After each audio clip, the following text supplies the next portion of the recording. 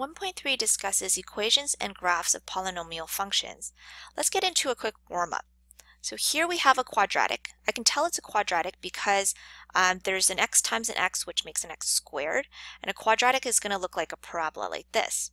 Since it's in factored form already, I can kind of see where the zeros are, or the x-intercepts. Now the x-intercepts are not positive 1 and negative 5, it's negative 1 and positive 5. So it's always the opposites of what's inside each of these brackets. Okay, now just quickly, this one, um, this 2 right here means that there's actually two brackets that say x minus 4.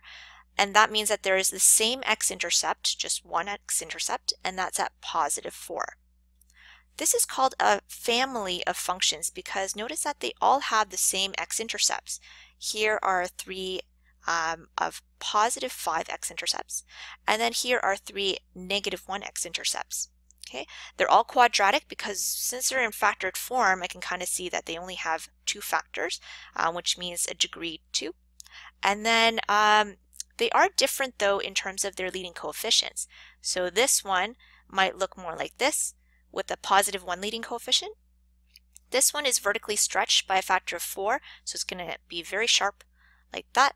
And then this one is flipped vertically and then also um, is a little bit flatter because of the vertical compression. So it might look kind of flat like that. All right. Now if all of them are in standard form, notice that the polynomials are just uh, shorter or longer. So they all kind of look the same and we can't really tell what the x-intercepts or zeros are here, but in standard form, recall that this number, the constant number at the back, that guy is going to be your y-intercept. Now, if it is in factored form, um, the quadratic should have two factors, the cubic should have three, quartic should have four, and so on. These guys are going to tell you about your x-intercepts. So remember, it's not negative b that's your x-intercept. It's actually going to be positive b. And just you're going to flip the symbols inside, and those are the numbers that are going to be your zeros. So just for a little bit of a note, um, sometimes you'll see that even though you have two brackets and it looks like a quadratic, it's actually a cubic because um, there's this exponent right here, which means that there are two brackets that say x minus 3 and one bracket that says x plus 1. So it's like there's two x's here and a third one here, which means it's going to be a cubic function. Okay, now here's something that I always notice um, students do on a test, and it's just, um, I always take off marks for it, and that's because if you just say that, let's say this is your function, and you just say, okay, x equals 2, negative 4, and positive 3 for your zeros, and you don't include the zero right here, it's not completely correct. Um, you want to make sure that when you're discussing x-intercepts, your y value should be 0. So you should put this here before you actually go into this step, which is listing your x-intercepts. Okay, so let's talk a little bit more about um, these exponents right here on each of your brackets. These are called orders. So this bracket has an order 2 and this bracket has an invisible order 1. Here you have two x-intercepts, but they're both the same at negative 4. Here you have one x-intercept, which is positive 3, and that's right here on the graph. Now, do you see a difference between if you have an even exponent and an odd exponent on each of the brackets. Like, do you notice anything? If you have an odd exponent or an odd order, notice that your graph actually cuts through the x-axis right here. So it crosses over the x-axis. And right here, it also crosses the x-axis. Versus if you actually have um, an even degree, so here and here, it'll approach the x-axis and it'll touch, but then it'll go back down. So it doesn't actually cross.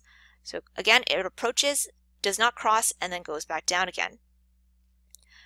The number of the exponent does matter. It tells you a little bit about the shape of the graph.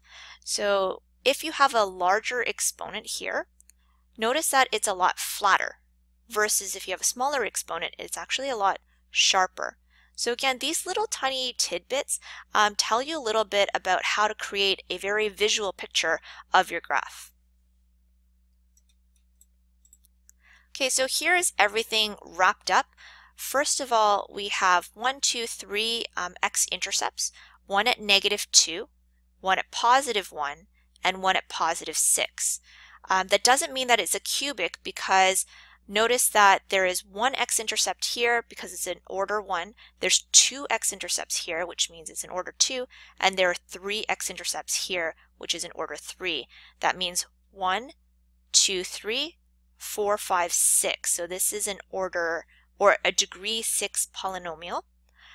It should point upwards, so both of the ends should extend from quadrant 2 to quadrant 1 because the leading coefficient is a positive 1 that's invisible.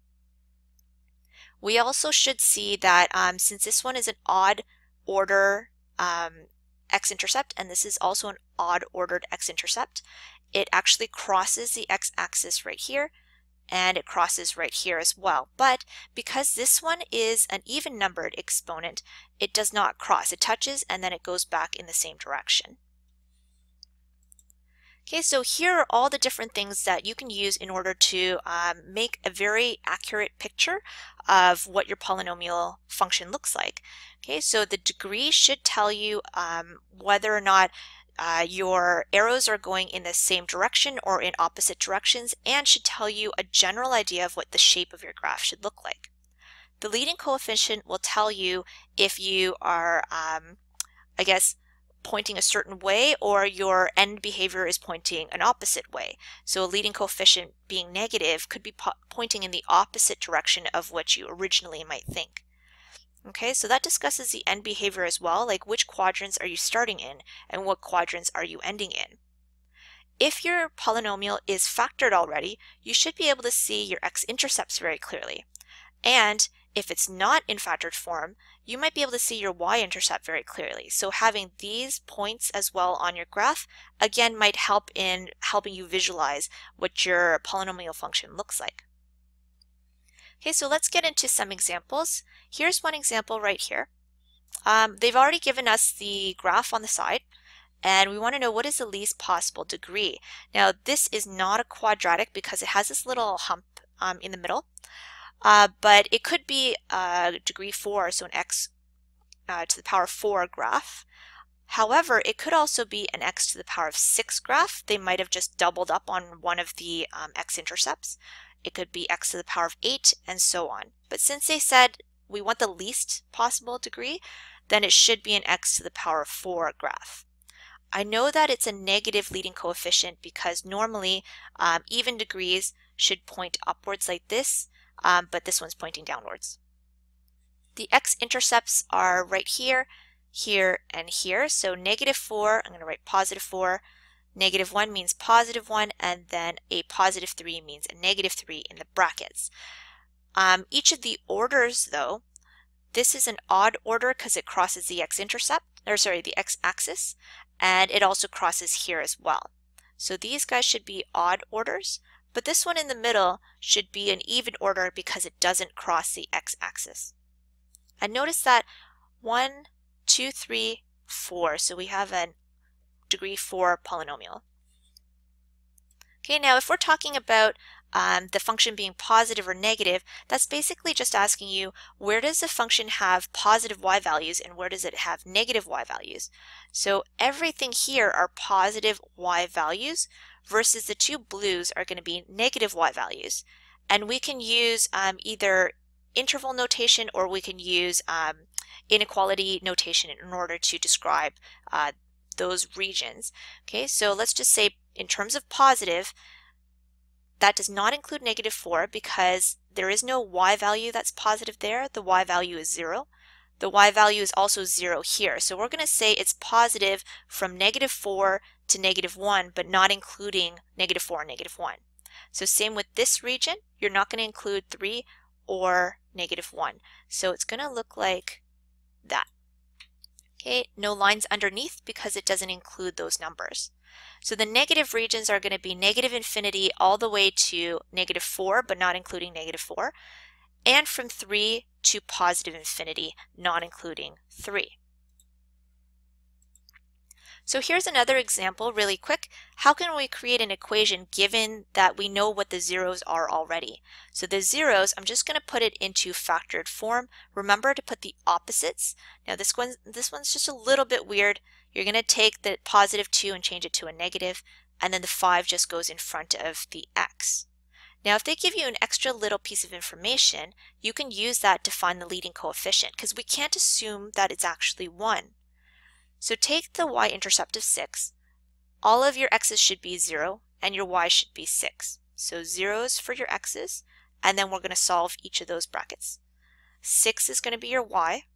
So 2 times negative 3 times negative 2 is going to give you 12 and you bring it over through a division. So your leading coefficient is a positive 1 half and that means that this is your overall equation. Okay, so two more examples. Um, write an equation for the function below. This looks like it's probably going to be a um, power 4. That means that we have two x-intercepts here and here, and I've written them down in their brackets. And I've just said that each of them is a 2 and a 2, which makes 4. Now you're going to ask, well, why didn't I do a 1 and a 3? And I would say, well, you didn't cross over the x-axis. So I know that these guys are even orders. So 2 and 2. Now to find your leading coefficient, I'm not going to do it here for time's sake, um, but to do that, they've given you this extra piece of information. So just take the 2 for your x's and put 2 and 2 in here, put the 4 into your y and solve for your a, and that's going to give you your leading coefficient. So you can do that with any random point on the graph. The domain is going to be all real numbers because this is going to keep opening up forever and get wider and wider. Your range, it looks like, only goes from 0 all the way upwards, so anything bigger than 0, including 0. And lastly, if they ask you to sketch something like this, you can already tell a couple of things. First of all, this has all your x-intercepts here. So we've labeled that negative 2, positive 1, and positive 3. I know that according to the orders, it's going to cross at these two x-intercepts because they have odd orders, but it's going to only approach at um, this x-intercept because it's an even order. So there we go. It's going to cross and cross, but it's only going to approach and then go back down. Now that tells me that it's also a 1, 2, 3, 4 x's, which means it's um, a degree 4 polynomial. It should extend from quadrant 2 to 1, but because of this negative leading coefficient, it extends from 3 to 4. Now that only tells you so much about the graph. It actually doesn't tell you how tall the peaks are. So to get a better understanding of where the peaks might be, you can always average out the two x-intercepts. So add the two numbers together and split it in half. That would be the middle point and take your negative one half, sub it into your x's and solve for your y. So I think if I did that, I got about positive 28. So that means that it's going to have a height of positive 28. I also took the average here and I got um, 2. So if I took 2 and put it into my x's, I get um, a value of negative 4, so it should be a height of negative 4. Now just really quickly, that does not mean that these are the mid uh, well, the midpoints. That doesn't mean that the midpoints are the actual peaks. I mean, the peak could be a little bit to the left like this, or it could be a little bit to the right. Like it doesn't have to be symmetrical. The only way to get um, an accurate visualization of this graph is to either graph it with a graphing calculator or some other graphing technology, or to use calculus, which we're not going to go into in this video. Okay, so that's the end of the video. I know it was a little bit long. There was a lot of stuff to go over, um, but I hope that this will help you figure out um, or get a better idea of what a polynomial function may or may not look like.